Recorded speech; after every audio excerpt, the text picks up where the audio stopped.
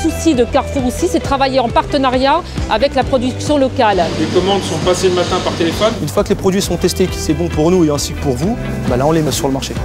L'intérêt des fruits et légumes, c'est que ce soit des produits de la région. Je ne pensais pas qu'ils renouvelaient vraiment chaque jour. En participant à notre opération J'optimisme côté coulisses, Stéphanie et Mathieu ont vu comment chaque jour chez Carrefour, nos équipes et leurs producteurs partenaires proposent des fruits et légumes frais, aux saveurs préservées et goûteuses. Et vous, vous le saviez?